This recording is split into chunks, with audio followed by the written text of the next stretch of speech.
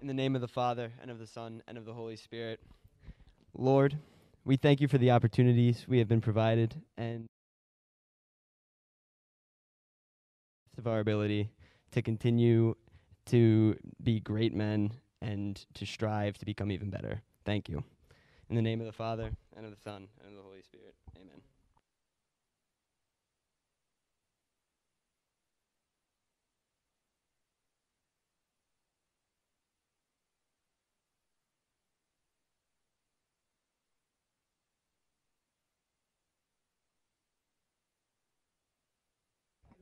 Is it on now? Cool. Okay. So, hi everybody. My capstone presentation today is about pitching recovery and uh, the different types of effectivenesses of, the different types of pitching recovery. So, to start off, uh, this paper's goal was to determine um, the different how effective different types of pitching recovery were um, by looking at active recovery, passive recovery, thermo thermotherapy, cryotherapy, electric muscle stimulation, um, in the context of a pitcher making a start every five or six days. Uh, recovery is really uh, like important for pitchers because uh, pitching is a very irregular movement and it puts a lot of stress on different the different parts of the body. Um, and so being able to go having to go five or six every fifth or sixth day is really important for starting pitchers. So the evaluation was done based off of how a pitcher feels while doing and after doing uh, a certain type of uh, recovery, uh, how it alleviates um, delayed onset muscle soreness as well as blood lactate concentration, and how uh, it restores range of motion while performing this recovery. And so, based on these criteria, the most effective recovery method was actually found to be active recovery, which I will get to in the next slide.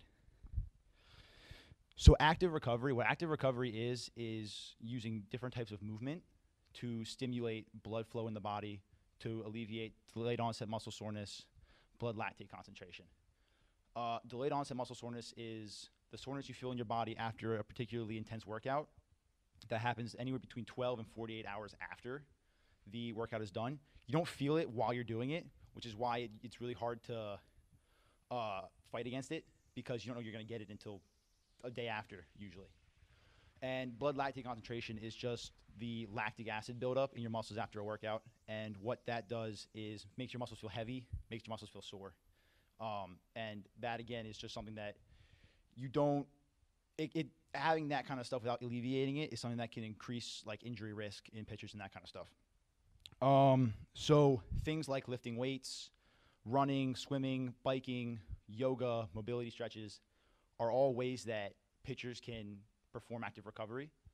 Um, especially yoga, as not only does it lengthen the muscles, um, increase blood flow, and it also helps with range of motion, not only regaining lost range of motion, but also um, uh, regain lost range of motion, but also increase that range of motion after it's done.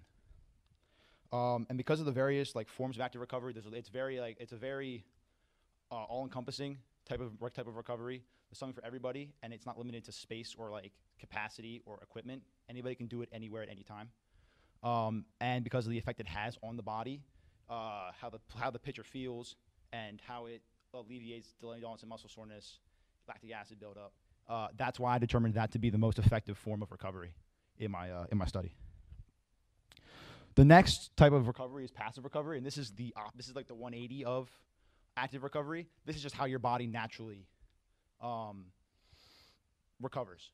So what passive recovery is is just letting the body just do its thing and just kind of sitting there, and over the course of a day or two, your body will naturally flush out any any kind of soreness or any kind of lactic acid buildup. Um, some some things like steam rooms, massages, where you're not exerting yourself, are ways that people pass passively recover. Um, but it's actually not the most effective form of recovery for the reason that while it can provide a mental break for an athlete, it when you have to make a start every fifth day, it's not the most effective way to recover your body for the most part. So the third form of recovery that I had was called cryotherapy, and this is using kind of, like cold elements like ice or ice water, or like cold packs, that kind of stuff on the body, um, following some kind of game or workout or something like that. And what happens is when you submerge yourself in cold water or use ice, it forces the blood vessels in your body to constrict cutting off blood flow to some degree. Um, by exiting that body of water or that cold element, you open the muscles back up, which actually helps accelerate um, the f- like your blood flow, flushing out any kind of uh, lactic acid or any kind of buildup that you don't want in your body that makes you feel uh, sore or tired or any of that kind of stuff. Um, it also kind of is a mental challenge because part of pitching is the mental is the mental side where you have to be mentally able to pitch six or seven innings, uh, be in tough spots, have guys on base, and that kind of stuff. And so it's mentally challenging in that the water is very uncomfortable to be in. It's kind of a mental it's a mental challenge to stay in the water um, and let your body get used to it instead of immediately everybody's reaction is just I'll jump out. You gotta just stay in and like let the cold water kind of help you out. Um, and so overall, cryotherapy hasn't really been found to be more effective than active recovery. Um, it's a lot less versa- versatile than active recovery is. Um, and while it's a good like access, the kind of good to be used as a couple with active recovery, it's not actually the most effective one to use. And then on the other end of the spectrum is thermotherapy, which is using heating elements like heating pads, hot tubs. Uh, I think steam rooms can sometimes fall into this. Um, saunas, heat wraps, that kind of stuff. All forms of uh, thermotherapy. And what that does is uh, changes the temperature of the body's soft tissues, um, which loosens the muscles up and allows for increased blood flow throughout uh, throughout the body. It's similar to how you sit out if you sit out in the sun and you feel yourself loosening up versus when you- you're cold, you tighten up. It's sort of like that kind of effect. Um, and so the way the blood vessels work is by increasing core temperatures, you increase the sympathetic active vasodilator nerve activity, which is what regulates blood flow in your skin and in your muscles and that kind of stuff. So by heating your core temperature up, you actually make you actually increase the amount of blood flow that can like flow through your body through this through that through that. Um, and overall, it has a lot of benefits, but it's not as it's not it's a more comfortable like alternative to cryotherapy, but it's not the most effective because active recovery is still more versatile and still uh, easier to use to some degree. And then the final recovery method was electric muscle stimulation, and this is actually a newer form of recovery um, that's been developed through today's technology. Wh- what it does, it's a machine that you attach uh, electric diodes to your body, like like sticky pads, and what they do is they are supposed to be able to shock your muscles um, using low voltage shocks to force your muscles to flex and relax. Um, and by doing this, it increases blood flow, reduces, which helps you reduce delayed onset muscle soreness, as well as uh, blood la- like blood lactate concentration, that kind of stuff. And the big plus with this recovery method is that you're able to target specific muscles. So like active recovery might not be able to help you help you hit like your scapular muscle back here, or like some part like your lat or something like that that you can't normally get with an active recovery. You can hit it with electric muscle stimulation, which is more centralized on. It's able to be used to target specific muscle groups, which is for pitchers who don't want to who don't want to tax their body but just want to recover their arm, the muscles in their in, in and around their arm. This is a, a, a good alternative. Um, and overall, it's a really close second to EMS or to uh, active recovery, but because of the fact that it's not as widely available as it's newer technology, it's harder to find and harder to get. Um, active recovery takes this one because of the fact that it's more versa- it's more versatile, and you don't need this equipment to be able to do it. You can just do some kind of movement, and, and, and that that can be your can be your recovery. So, in conclusion, active recovery is the most effective form of recovery found. Uh, it can be done anywhere. There's no limit to equipment. There's no limit to space. You could do it in a small room. You can do it on a big field with any equipment that you have around you uh, in any capacity. Uh, again, EMS just isn't that widely available to people um, without paying a lot of money to have it, or if you or some people just aren't comfortable with getting shocked like that. Um, so that's why ultimately recovery is just an athlete's preference. Is an athlete's preference. Um, everybody's different. Everybody likes to do different things with their body, but uh, ultimately, the most effective form of recovery uh, a pitcher can use trying to make a start every fifth or sixth day is active recovery because of uh, the variety of ways you can recover that it offers to a pitcher. So, thank you. I'll just leave that up. It's fine.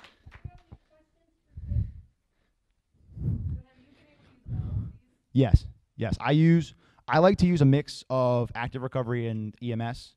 Um, I like to kind of do like sprints or.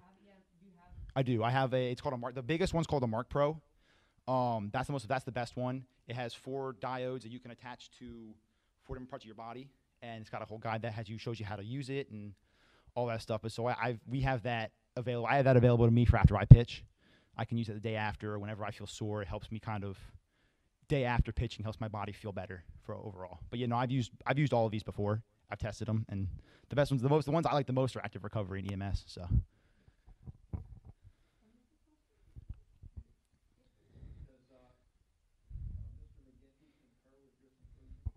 Um, I have no. I'm not sure actually because I actually haven't talked to him. I feel like he would. I feel like he would like the cryotherapy. I feel like he like to. He, he, like, he likes being able to put ice on people. He likes putting ice on people. So that's all it is. So, but I think I think he I think he would agree with me with what I'm saying. Thank you. No problem. No problem.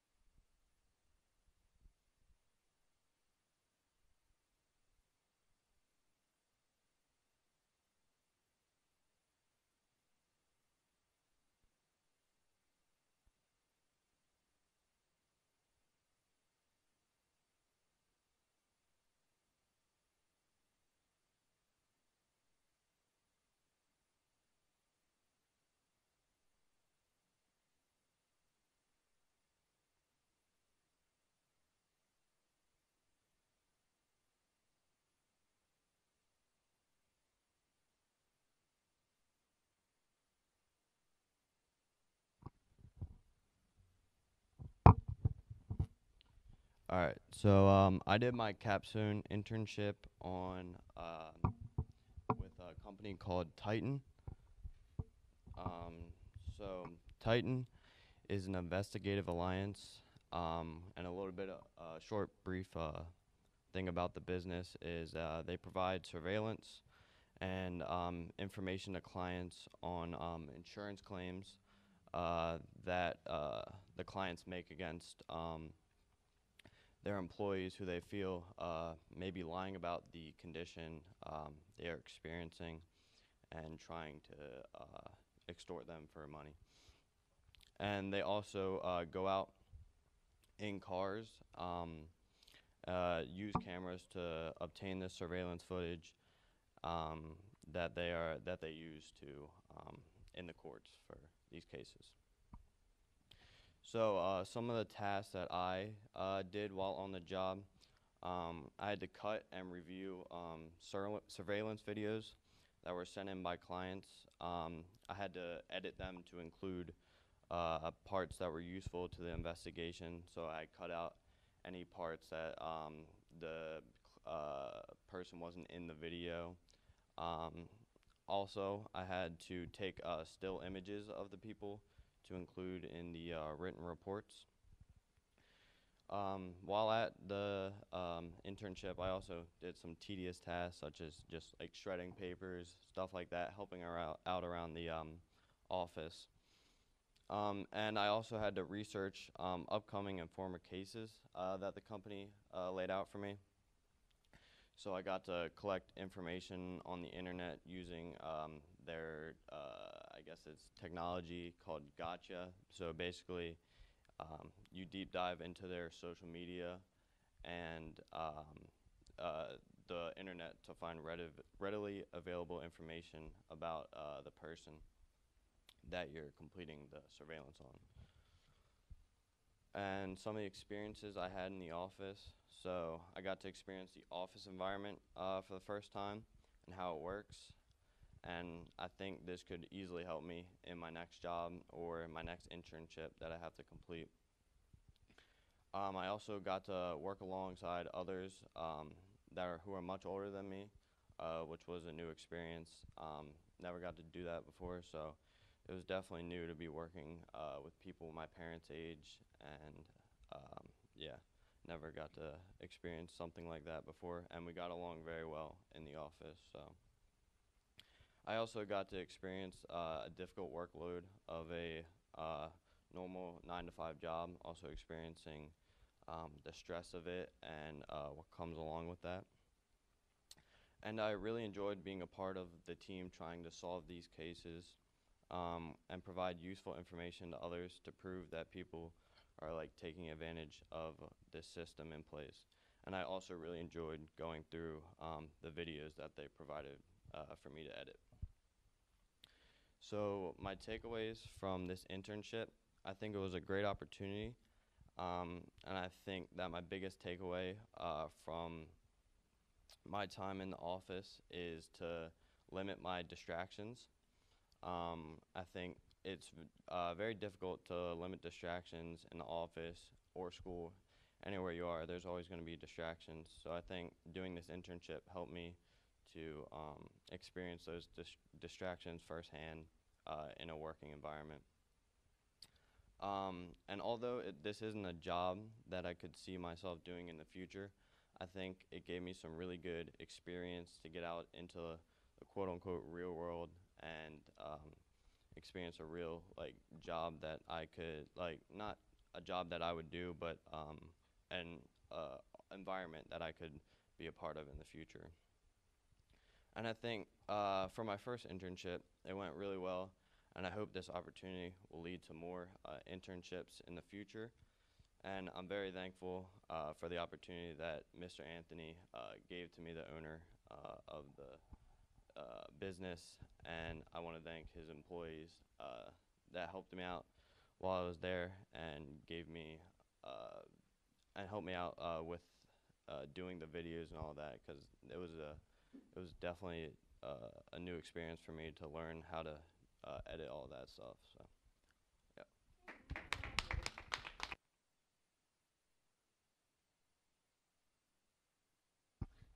Um, I feel like, did you feel like a private eye? Like your, that was. Um. Yeah, it was kind of like um, like they would uh, spy on people, kind of kind of thing, uh, in the cars. Yeah, like in the cars, and they would just take videos of them uh, doing like normal stuff, like going to the grocery store and stuff, to prove that they weren't really like injured, as I said, because some people would be like they broke their leg or something, and they would just be like walking into the store normally. No, no, I didn't have the opportunity to. Um, because of COVID, we couldn't really go in uh, cars with other people. But uh, yeah.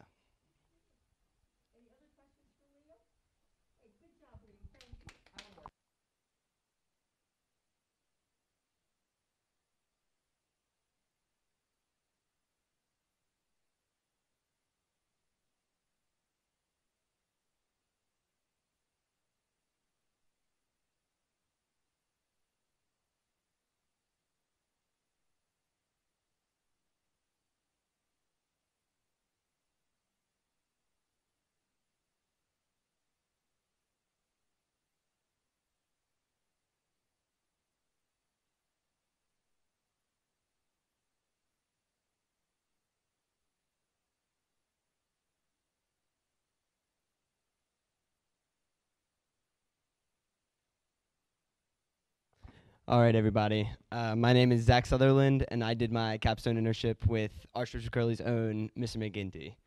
Um, so, just a little background info on me. Uh, I've always been interested in physical fitness. I've played sports basically since I was born, and it's always just something I've wanted to be around. Um, my first job was as a lifeguard, just because I wanted to do something outside. Um, so that, so that was just physical therapy was a natural career choice for me. It always sort of felt right, and it's the career I'm deciding to pursue at this moment. So I will be attending Temple University next fall, majoring in kinesiology, which is the study of body movement. Uh, hopefully, to someday get into Temple's phys- physical therapy program. And um, one of the greatest things I think I've got to experience is I've met some incredible people in this career path. Uh, this includes Miss McGinty. Um, also, Nick Kundrat is a man. He's a type 1 diabetic, which I am as well. That's how I met him. He's a health practitioner and a movement specialist. He's starting a business called B- Blueprint Wellness, and he's going to sort of just take over that and uh, try to run with it. Um, and he also wrote a book called Positively Type 1, which I was featured in. I got to write a little snippet in. And uh, so that book is out. I really recommend go check it out. Go check out my section. Um, so that I mean he he's fantastic. He's helped me so much. He's he's already offering me internships years down the line just because we've grown so close. Um, and Kim Peterson is someone I interviewed from my anatomy class, and then I uh, have gone and talked to her a couple times. She is a physical therapist. Uh, she's worked with many different groups, so I've gotten to learn so much from her. She's worked with disabled children, senior citizens, and recovering athletes, and everyone in between. Um, so just getting to sort of pick her out, pick her, chew, chew her ear, and um, figure out what she's doing is something that's been so helpful to me because it sounds exactly like what I would want to do. And then I did have a couple internship struggles coming into the year. Um, I had internships set up with Kennedy Krieger, which was actually through Miss Peterson, and a company called Active like Life Fitness, which is this just down the road from me. Um, but those were canceled due to Corona, uh, um, unfortunately. So I went to Miss Joe's and I said, Miss Joe's, I don't know what to do. And uh, she was able to help me out. Um, me and Mr. McGinty got together, and it ended up being a really great experience. So um, my experience with Mr. McGinty started off with just a couple meetings trying to figure out what we would do. Uh, Mr. McGinty had st- done stuff like this in the past, so he was able to help guide me. So the first thing we did was um, I worked with the nurse for a couple days because she uses a program called Snap Health Center. Uh, every time a student visits the nurse, she has to uh, mark that down and make sure that's um, make sure that's something that is kept as data. So I was able to work with the nurse, figure out how that works, and then change it just a little bit, tweak it, so that Miss McGinty can use the same program for injuries rather than illnesses. And so that's what Miss McGinty will be using from now on. Um, so after I got familiar with that, I was able to sort of teach it to Miss McGinty just to make the process more familiar from now on. And um, then from there, we would enter in old injury reports. Unfortunately, there's no sports happening right now, so we were unable to work with new students. I don't want our athletes getting injured, but it would have been nice to see a couple of them. Yeah, what's up? Um, so this, do you think that this new, um, the thing that the nurse uses that is gonna be, what's it called again? Snap? Snap. Snap. Do we think that that's like something Mr. McGinty is now familiar enough with that you have like really put this in process, that like the work you just did will be here for years to come? Uh, yes. So Snap is I worked with the nurse just a couple of periods, and then once I was familiar enough with it, just started teaching to Mr. McGinty, and he was super happy with it. Turned out just like he wanted, and so that's something he will be able be able to use for Curley athletes down the line, just for the next couple years. Yeah. And Zach, now that things are getting a little bit more open, do you think you're gonna look for an internship this summer? Uh, yes, almost certainly. Actually, I'm gonna go back to Active Life Fitness, try to reset that up. Um, I will be working as a lifeguard again this summer, so I'm gonna have to work around that. But yeah.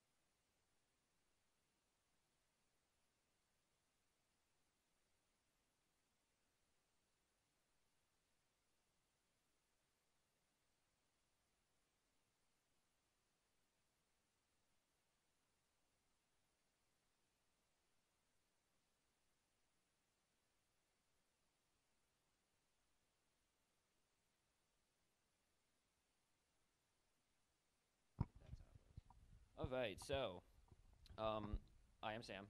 Um, my presentation is on Andrew Jackson and how he expanded the federal office of the executive branch. Um, so starting off, he had very humble origins. He was born in a really small community in South Carolina. Um, his father died pretty young, so he didn't have that father figure. Um, he grew up in a backwoods environment, um, which would become a figure in his, uh, become a, a notable thing during his uh, campaign. Um, and at the end of the Revolutionary War, which he fought in, he was without a family, losing his brothers and his mother. Um, and then flash forward to the War of 1812, which is where he really gains a national presence. Um, he has to defend New Orleans with a volunteer army. Um, there he like uh, gains camaraderie with his uh, troops, and he gains the name Old Hickory. Um, he also puts down the Creek uprisings, which will be a notable thing, putting uh, putting down Native Americans. Um, he then places New, uh, New Orleans under martial law, which will later be cited by Lincoln when he puts Maryland under martial law. Um, and ultimately, he defeats the British overwhelmingly at New Orleans, and he becomes a national hero. Um, and then afterwards, uh, there's the Treaty of Fort Jackson, um, which is like the first step to him expelling the natives. Um, and what that really does is it's a domino effect.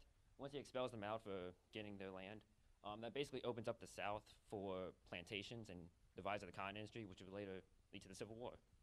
Um, and then later he would go into Spanish Florida. He would, you know, take out the Seminoles there, as Jackson is wont to do. And then he's installed as a military governor. Um, then you go to 1824, um, and many people calling for him to be president because he's really popular. Um, they see him as a man to clean up corruption. He's seen as an honest man. Um, that goes back to his camaraderie with his troops. Um, there's also voter expansion that occurs here. A lot of, a lot more blacks are able to vote in the North. A lot more people who don't own land can now vote. So he's very popular that way. Um, however, he loses to John Quincy Adams in the House. Um, he doesn't win the electoral vote. It goes to the House of Representatives, and they side with Adams, and then Adams chooses uh, Speaker Clay to be his uh, Secretary of State, which he dubs the corrupt bargain. Um, and in the interim between 1824 and 1828 elections, he founds the Democratic Party. Um, very notable thing. And what that does is it undermines the Adams administration, making it very difficult for Adams to do anything. Um, and then that revives the two-party system, which is what we have today, um, is kind of a cornerstone to American politics. Um, and then you see divisive politics, which is still around today, and the party survives to this day. Um, and with the Democratic Party in 1828, he runs again. Um, it's a brutal campaign trail. It's not really a lot of slanders going around there. Um, and uh, Jackson is once again called the Tribune of the People, showing how he's really popular with them. Um, and he actually wins this time, and he dubs himself the People's President.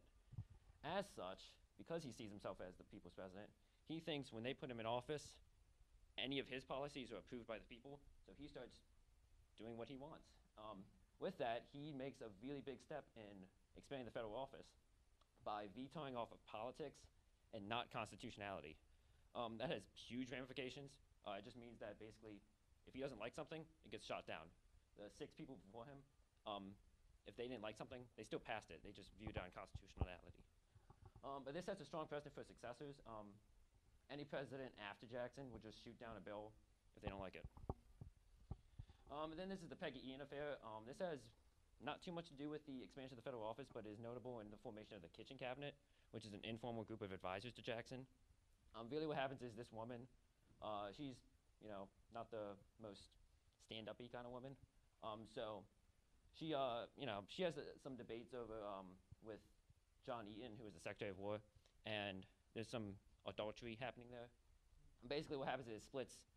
Um, it moves from morality debate to a political debate as Calhoun and Van Buren start to pick sides, and ultimately, what that happens is it ostracizes Calhoun and sets Van Buren up to be the successor to Jackson. Um, another big thing that Jackson did is the spoils system.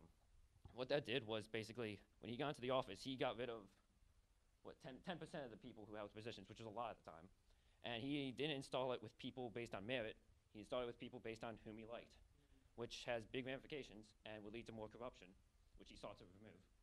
Until the uh, Pendleton Civil Service Act of 18 whatever, um, that, that happens after Garfield is shot and they have to reform it. Native expulsion. This is probably his most famous thing, sadly. Um, basically, he kicks out all the natives uh, in the South. Um, and what that does, it expands the South again for slavery. Um, and a big thing here when he expands the federal office is that the court, the Supreme Court actually sides with the natives on this. Except Jackson holds the military, so he decides not to enforce it, and he still kicks them out. Which you get the Trail of Tears, you get Indian relo- relocation, you get wars, and you get more death. Not good stuff for Jackson. Um, the National Bank is another big thing with Jackson. Um, he really did not like the bank. Um, being poor and young, he never had a big trusting for banks. So he believes it corrupt, and he spends his entire career trying to take it down. Um, after the election of 32, which was the campaign for that was mostly centered on the bank, um, he interprets that as the people's mandate for the death of the bank. So he gets rid of it, um, which basically leads to a panic later, and there is no federal bank until 1913 when Wilson uh, reinstates it. Then you have the nullification crisis. Um, so the Tariff of Abominations passed, and the South is really not happy with that because they see it as an economic strangle to them.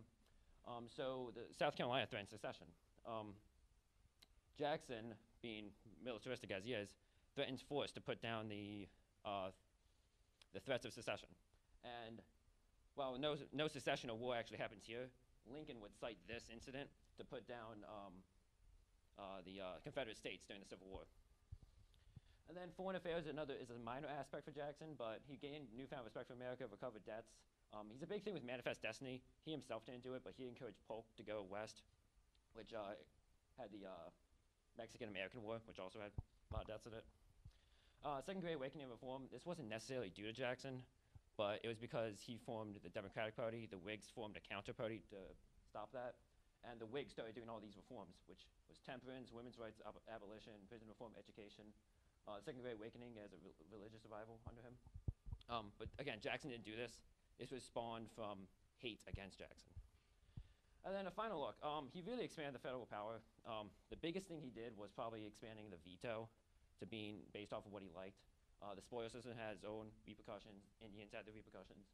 Um, uh, Western expansion had another thing. Um, we gained a lot of land because of Jackson's own politics and beliefs. Uh, dissolution of the bank led to a lot of panics until the Federal Reserve was instated. And then the Democratic Party is another big one, something that we still see to this day. That's it. That is it.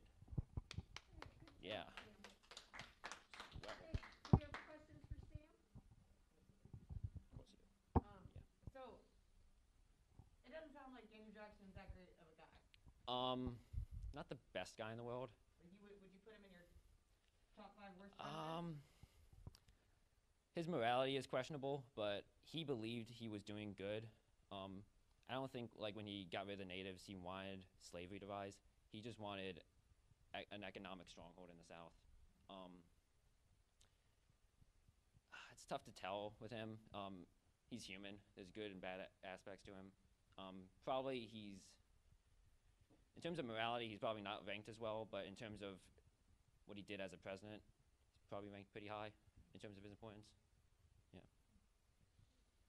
other questions for Sam? Swell. Thank you very, very much.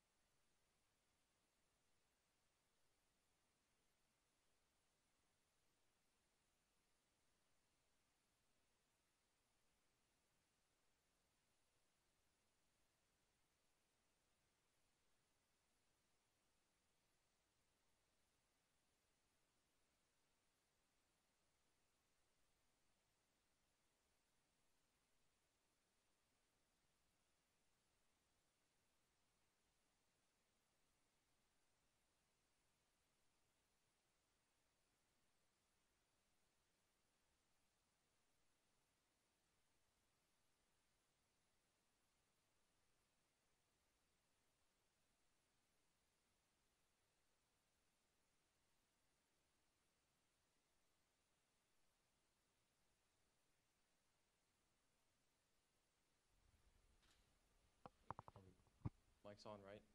Okay. So, uh, I'm Connor, and this is my capstone project. Basically, what I did was. Okay, let me, let me restart. What I need to do is just overall really offer my gratitude to Miss Joes for carrying me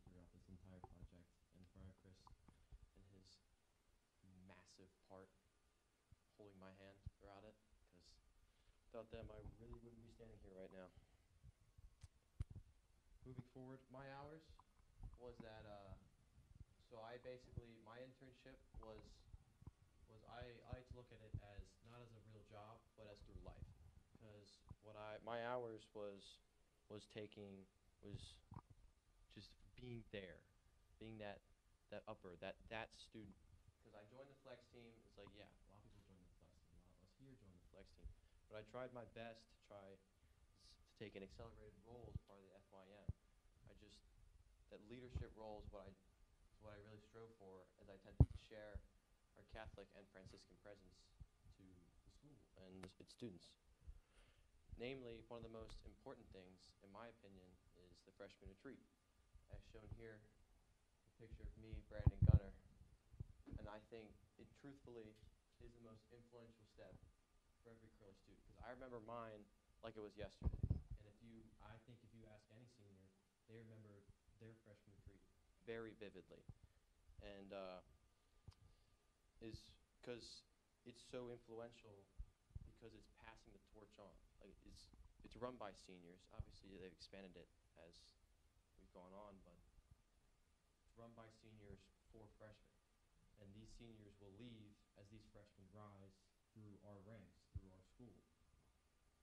And uh, in the COVID world, we just we tried our best to help everyone get to know each other. I made a note here. It was, I, and it's ironic because uh, I said, unfortunately, I'm one of only a small group of students that's met every freshman. Well, as of yesterday, we had our freshman field day and finally got that uh, the entire freshman class together. And it's crazy to say that it's March 11th and not August or whenever the freshman retreat is. Values which I've learned throughout this internship. To start, I have, uh, going back on the COVID thing, flexibility. Everyone here knows it. We've been through school. A lot of teachers here. I think we're all teachers here, right? Yes, I think so. And it's just hope and pray we never have to do this again. And because being flexible, whether it's sports, academic, social, anything, it's very hard to work around. Uh, having to go outside my comfort zone. I'm not a person that is usually one to stand up in front of people. So freshman retreat, in front of 60 people is one thing, and we have 700 in the waiting room today. That's that's nothing small. Um, and then growing in my own faith.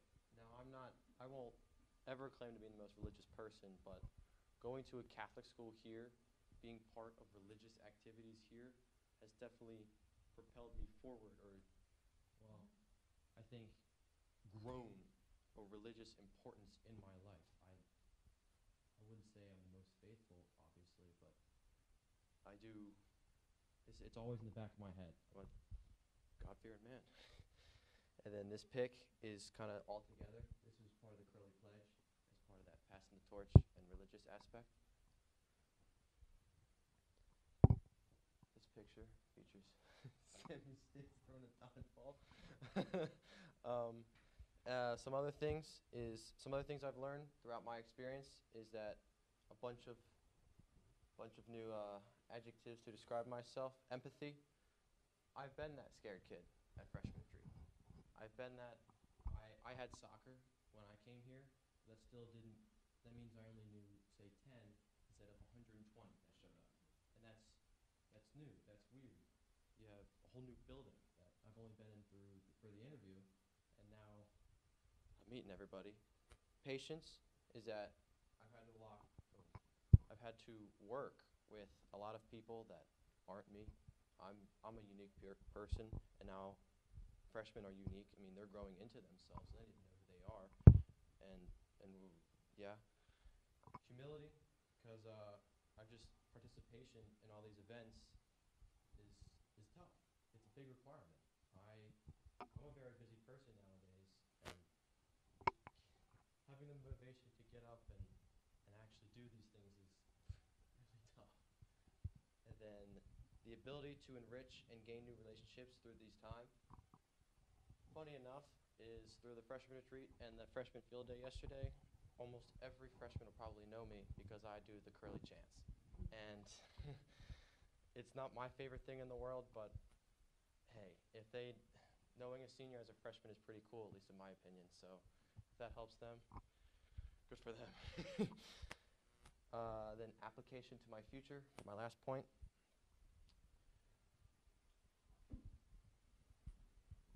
This internship has shown a different importance for me passing down what I believe in so that they, that these new people, new students, not even just freshmen, we're trying to get people to join the flex team as sophomores and juniors, being more involved, is passing down that importance because I, I, I very enjoyed my time at Curley, and I hope everyone else who goes to the school can feel the same way when they graduate in two months.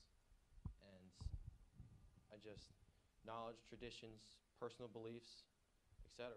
It's just pass it down because you don't want you don't want someone to go through this at a very linear pace. You, up down. High school's a whole journey. and uh, the my experiences have also allowed me to enter a different aspect of my life. And uh, for those who don't know me, I'm a very math-based student. With with math, it's kind of I wouldn't I don't rigid kind of sounds bad, but it's it's kind of a right and a wrong. This one, it has uh, allows me to be more creative. Now there's there's thought process and uh, problem solving in math, but this time I'm not working with numbers. I'm working with people. That's very very very different. And uh, I've just I've learned to adapt socially, creatively to a plethora of different situations now. I've gone outside my own true self nature, which is being outside my comfort zone now. And uh, with that, I don't think I have much more, so I'm gonna try to conclude it there. Thank you. Very good. Do we have questions for Connor? Yeah, of course I do. What, if you could point to an experience over the last year working with them, what was, um, like an experience that you feel like really, like something kind of specific that put you the most out of your comfort zone? So not like all of freshman retreat, but maybe an instance at that. Most outside my comfort zone was was probably it might have been the campfire, really, because it's a huge difference. Freshman year we came in and you have all these seniors talking about you know, these really important and you, you write your biggest fears about high school, your biggest like what what are you nervous about? As a freshman you don't take that super seriously. As a senior now, it's it's got a different level of importance and uh and to to try unsuccessful successful as may it be to try and relay that to relay that importance i thought because i i was open about my fear my fear about moving forward uh, like college is one thing but there's a whole adult year after that and i don't even know what i'm gonna be majoring next year so that's that's a big fear of mine to share that with freshmen who may or may not have taken it seriously was that was kind of hard to do. Thank you. Thank you very much, Good job. Connor. Good job. Okay, Brian? Good job.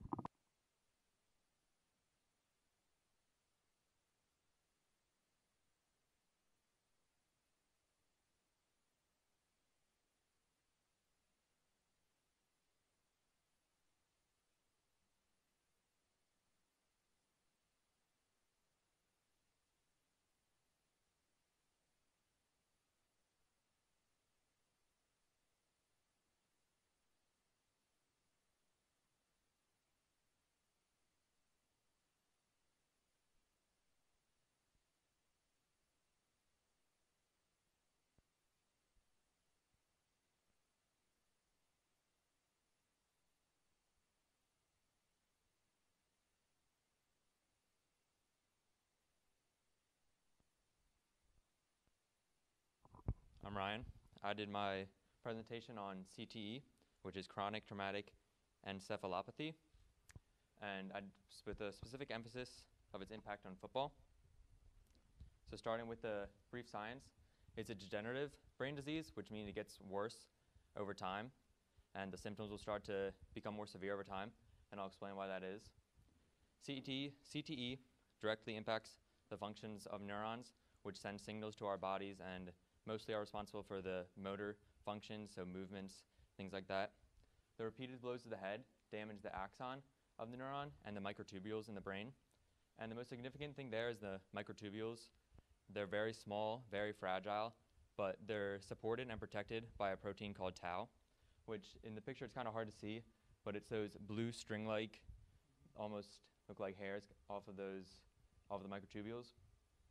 And as the microtubules begin to disintegrate and fall apart, it releases the tau into fo- float freely over the brain, and uh, a, pro- a process called phosphoryla- phosphorylation can take place where they'll clump together, and that begins killing brain cells and uh, lowering the brain weight and just brain function in total. And after this, prion spread can occur, but this is why it's still kind of a mystery, because in some it occurs at such a rapid rate um, than others, and some it doesn't really occur at all. And this is where it just continues to spread even after the head trauma is over. So this is why after years you'll start seeing symptoms come up. Now next is the research and the evidence of CTE in football. The first discovery that really got the ball rolling and made a lot of people aware was Mike Webster, and he was after his death. Um, Bennet Omalu was the doctor who performed his autopsy and discovered and diagnosed him with CTE. So after this, there were countless um, studies done to see, and the VABU CLF Brain Bank was formed by the U.S. Department of Veteran Affairs, Boston University, and the Concussion Legacy, Legacy Foundation.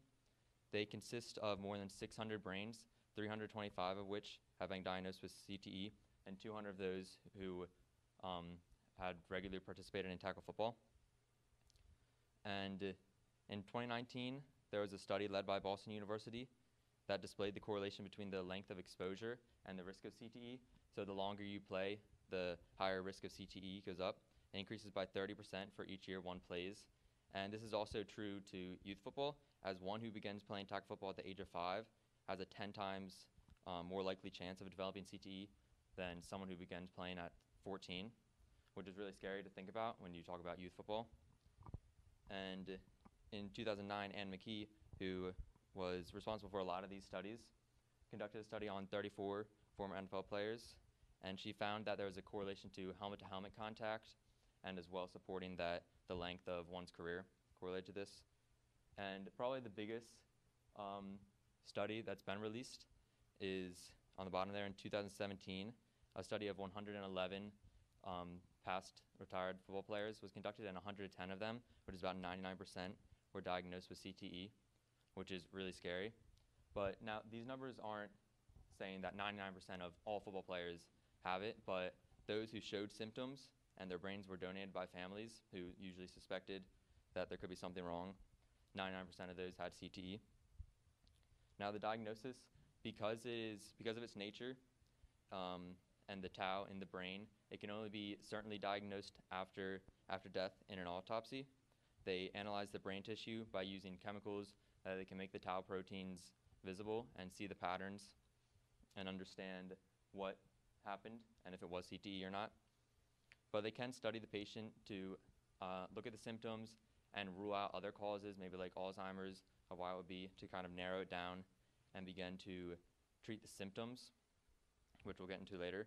But there are two new um, ways about that they want to try to get to diagnosis, which is PET scans, which is the positron emission tomography, and fluid-based biomarkers. And in PET scans, they use a tracing chemical, which they'll inject into the veins of the patients, and they can actually track it up into the brain, and that'll light up the tau proteins, and they'll see. And the biomarkers kind of work in a similar way, where they're into the bloodstream and they identify abnormal um, concentrations of tau protein in the blood, but they're still under research and testing. They're not 100% reliable.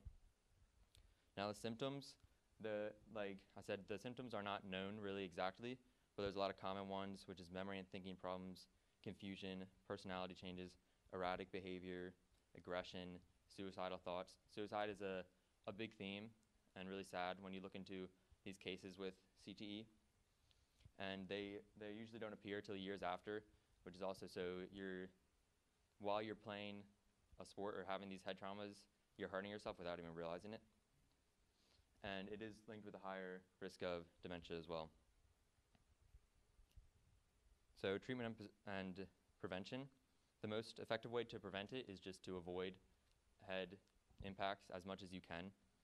And as there's no treatment for it, you can try to control the symptoms. And some of these are by like therapies, um, behavior therapies to control mood swings and depression. Pain, pain management, you can use um, medicines, acupuncture, or massage. And memory exercises are used to help strengthen the, the cognitive function. Now, the impact on football. So, the state legislatures in five states, which was Massachusetts, New Jersey, New York, California, and Maryland, all pushed to, to have um, bans to youth football.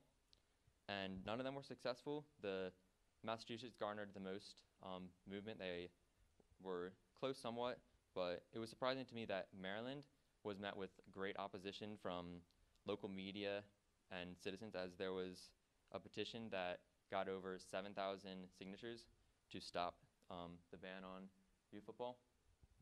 And youth football bans are already instituted in Canada, and growing awareness is, is being seen among parents as there was a survey by the University of Washington School of Medicine of over a thousand parents that found that 61% of them were in favor of youth football bans. And even though there are no bans, the participation does continue to fall. 5.8% drop in core participation was measured from 2017 to 2018, and core participation is really what you want to look at because if you look at the overall numbers, it doesn't seem like that big of a, a drop at only 1.3%. But the core participation represents those who have regularly participated, um, and them dropping out kind of shows that before they were so committed to this, but now after learning this, this may not be for them and it's not worth the risk. And there are also a lot of NFL players retiring in like their prime and at young ages. Luke Kuechly is one. He was a seven-time Pro Bowler, retired at 28, um, prime age really. And Rob Gronkowski, which is generally regarded as one of the greatest tight ends of all time, retired at 29 over concerns of CTE, but he's since returned. But that could be due to some of the um, changes in the NFL that we'll go over later. So this is our case study on Mike Webster. Played 15 seasons at center for the Pittsburgh Steelers, which is a um, a position that has a lot of helmet-to-helmet contact as you're blocking on every play. And he's believed to have suffered numerous concussions, but none of them were reported or he didn't receive for treatment for any of them, which is a common theme for football, especially in, in these eras, as you just kind of would get up and shake it off. Because if it's nothing visible, then it's not really there in their beliefs. And after he retired, his family realized significant changes in his behavior. He was physically disoriented a lot of times. He was no, no longer able to complete tasks that he usually could do with no problem. And when he would even um, just get in his car and disappear from his families for days at a time. His symptoms began to wreak havoc on his life in 1992 when his house was foreclosed on and his wife left him. And from then on until his death, he was really from hotel to hotel, homeless. And he did have a family and he had children. So it's very sad. And his, he was even reported his condition grew so bad that he would have to zap himself with a taser gun that he bought to um, stimulate his nerves so he could stop his shaking his, because of how bad his condition had grown. And now this was kind of a wake-up call for the everyone involved in the NFL at what the risks they're taking at every time they step on the field. And he's not the only player, although he has one of the one of the standout cases. But Junior Seau and Andre Waters, and Junior Seau is a Hall of Famer. They both suffered from CTE and committed suicide, tragically. Now, after this, in 2017, the NFL um, documented 291 concussions across the league, which was a record high. And so they employed Dr. Jeff Crandall to try to fix this and find solutions how they could lower this number. Who is a Jeff Crandall's a biomechanical engineer who works with his firm Biocore. And first they wanted to do was address and fix the kickoff, as it was accountable for 12% of the concussions sustained, but only represented 6% of plays in the NFL.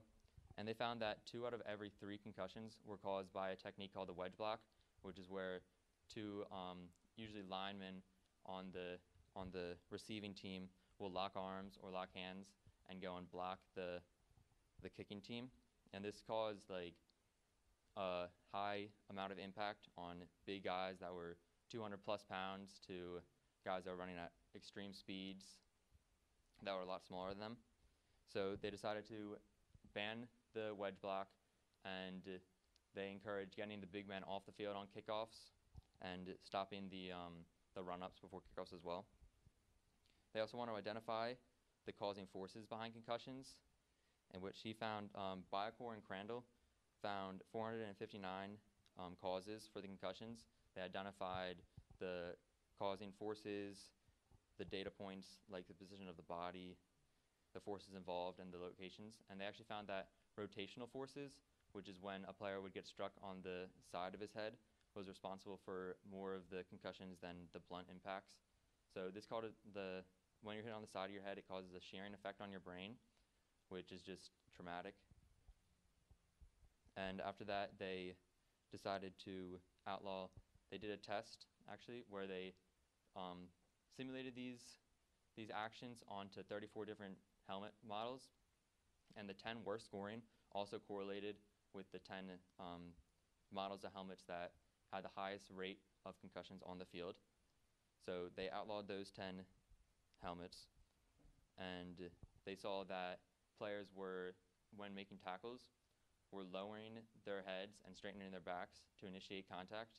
And this spear-like um, technique really increased the um, amount of force that was applied to the player as they're making a hit. And it's not only detrimental to um, the offensive player that's receiving the hit, but also the defensive player, as Ryan Shazier um, is one of the most tragic cases of this, suffered this, and it almost paralyzed him and ended his career after he lowered his helmet to um, make a tackle.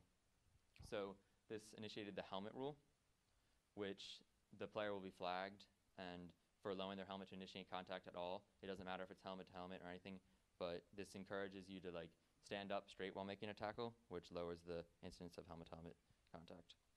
They also made an effort to spread awareness as they sent out a 107 page medical playbook to all NFL players on concussion um, signs and concussion prevention and even details about CTE. And to implement these rules, you saw the, all the rule changes and the policy changes. They also made it a priority to enforce their concussion protocol, which is something that had not been a huge focus before, and a representative sent to each team to make sure the protocol is being um, carried out correctly. Otherwise, there could be fines made.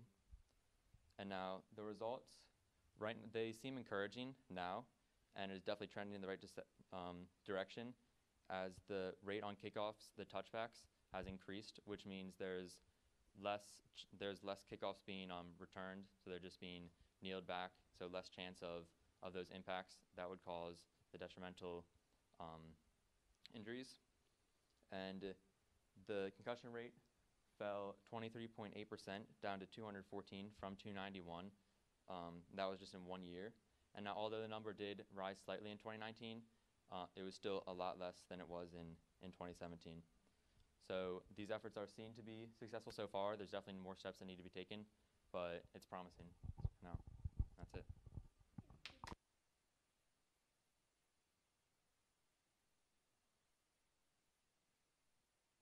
Let him play football right now? Um, it's interesting because before I did this paper, I would definitely, I wouldn't stop him. But after this, um, it's really scary, and no, I don't think I would because it's yeah, it's not worth it.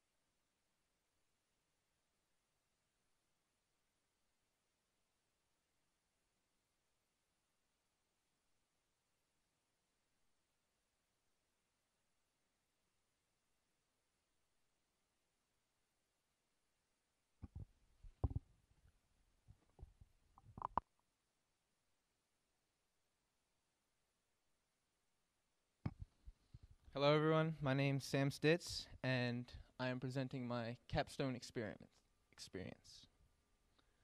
I have to do this. uh, so I did an internship um, with physical therapy.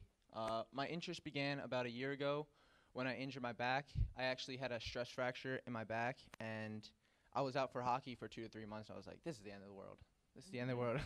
but it turns out that I actually learned something um, very valuable from this experience, and I got to do therapy for two months, and I was in there, and I realized that this is a job that I would possibly want for the future. Um, just through what the therapists do and how they're constantly like moving and teaching people and more active. I'm not a type of guy sit at a desk all day, so I thought this is this is great and this is something that I would want to do in the future. Um, and this internship allowed me to experience different aspects of the job. Um, when I was last year, when I injured my back, I got to see the patient standpoint of you. Um, and this time through my internship, I was able to see kind of what goes through the therapist's mind. Um, he would talk me through his thinking processes, and it helped me get that aspect, which I found very valuable.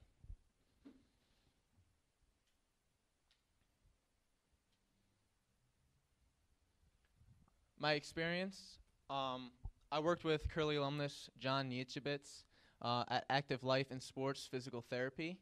Um, very thankful for him and Miss Joes and Mr. Joseph for setting this up for me. Um, here, uh, I learned some really intriguing experiences that I really never had before, never seen before. Um, the first is in the top right corner. The, it's called the Frenzel goggles. And the first day, um, I did my internship. I went in there, and one of his patients had vertigo, and they used this, um, this these goggles to uh, look into their eye. It illuminates their eye, so the therapist can see their eye better, and their eye will drift like a certain way, and they have to turn them over for like five minutes and then turn them back into different positions, and that'll help reset the process. And he said if they go to him two two times a week for um, about like a week or two, they said it'll be completely solved. And he, a lot of the scientists don't know what causes vertigo. He said it's like these micro crystals that form in your inner ear, and they kind of create imbalance um, to that part, and it kind of um, the process of him maneuvering the patient helps maneuver those crystals out of the ear and helps them uh, regain their balance. Um, the next is a traction machine, right down there on the bottom right.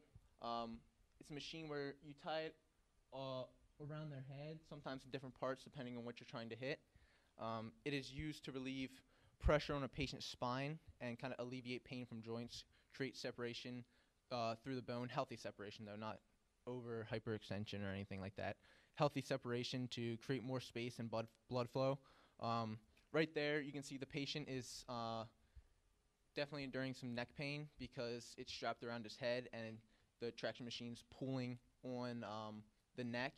And I found it was it was crazy. He set the machine to 20 to 30 pounds. That's the usual or the standard um, weight or, or pull on the patient on their neck. And I thought that was pretty crazy because how vulnerable the neck is sometimes with injuries and getting hit there. So that's 30 to or 20 to 30 pounds of pull.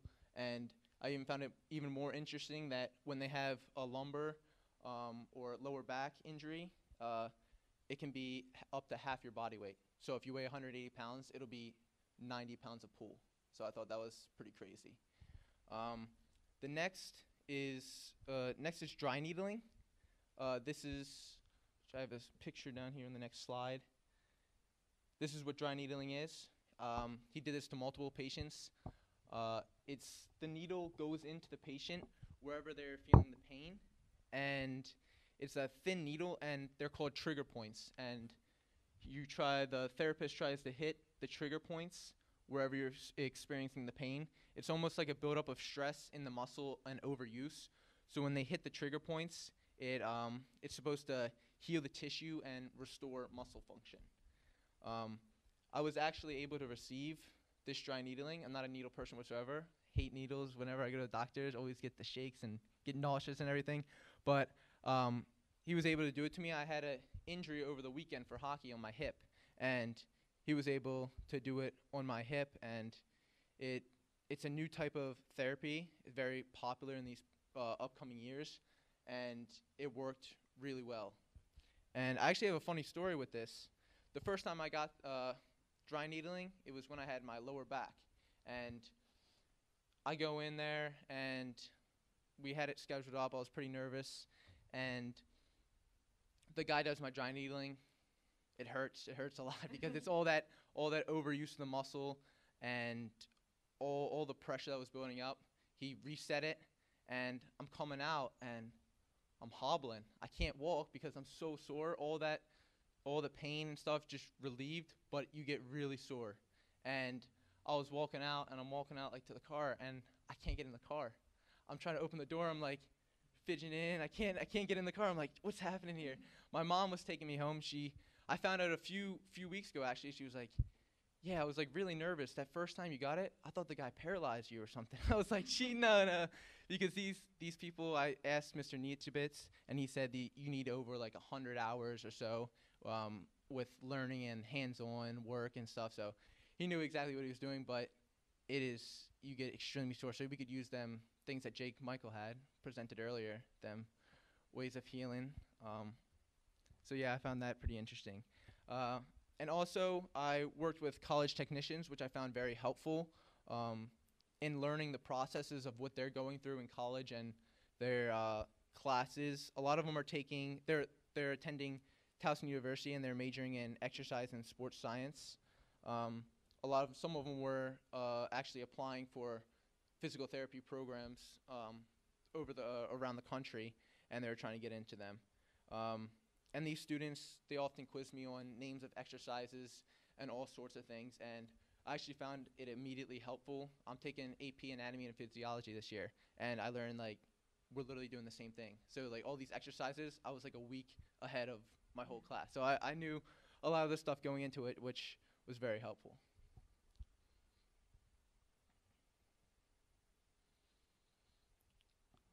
Right. Finally, learning points and takeaways from my experience. Um, on an intellectual level, I learned like different techniques, such as like the shotgun position, which helps adjust the SI joints, um, your hips and back. Um, and I also learned uh, ways to help strengthen muscles and reduce pain. I also learned that confidence is crucial in gaining trust with your patient. If you don't have confidence, then they're not going to have confidence in themselves, and they're not going to have confidence in the process. So they may start uh, slacking and lacking off because they don't feel like this is going to work. So you have to show your confidence to them in order to um, get a good, successful end result.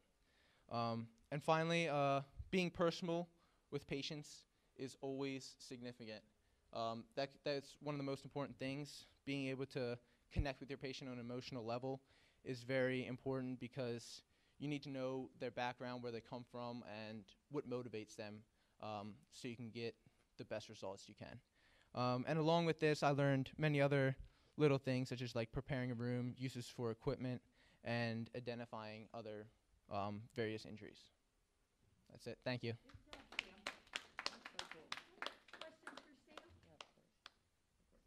Did you get any repeat patients over your in, during your internship time that you got to see multiple times? Oh, I got a ton. It was I actually ended up going on Tuesdays throughout because that was my open day, and I went right after school to like 8:30. And a lot of the patients they schedule weeks ahead, months prior, so they're always going usually on like a Tuesday, Thursday, or whatever. So yeah, I got to see a lot of them. It was cool seeing their development and their got stronger and stronger. And a lot of times I got to see new patients too, where he uh, they'd never been to physical therapy before, and they just recovered from something or from a surgery, uh, and they're coming in to strengthen. And I got to see like um, Mr. Nietzschebitz uh, identifying like the problem, and it's unsure at first. You're not going to know on the first day, so he was able to kind of narrow it down, narrow it down, narrow it down, and then he finally figured it out, and then you strengthen from there. So it was yeah, it was really cool. Sam, is there a difference between the needling and acupuncture?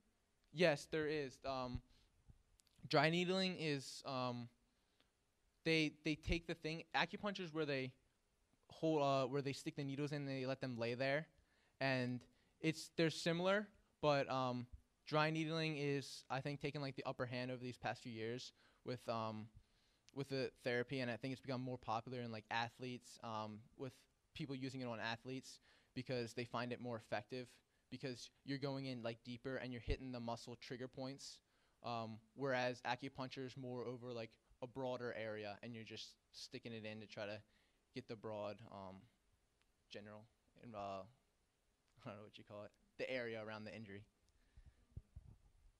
Yeah.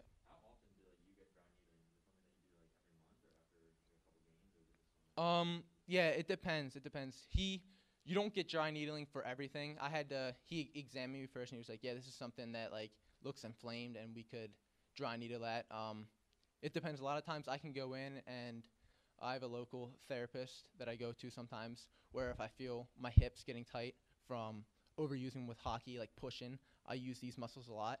So if I feel I'm getting tight and I feel pain, he can go in there and pretty much just reset everything, and that's that's the main goal of it. So yeah, it depends. Um, some injuries you can, a lot of them. He would ask the patients. You say, "Yeah, this is a good idea to do it. Like I'd recommend doing it." So, yeah, it varies. Thank you. Okay, I want to just take a minute to thank Ms. Kangas, Mr. Malinowski, and Mr. Joseph for coming today, Mr. Joseph for doing the live stream for us. But most of all, I want to thank you. We are really, really proud of you. Doing any kind of a capstone during this COVID year was a challenge for all of us. Okay? And you rose to that challenge. You did a wonderful job with both the papers and the internships. I also want to thank you all for being very patient with all my nagging for the last six months to get you to complete these projects. So, very, very proud of you guys. Good job. Okay? Thank you.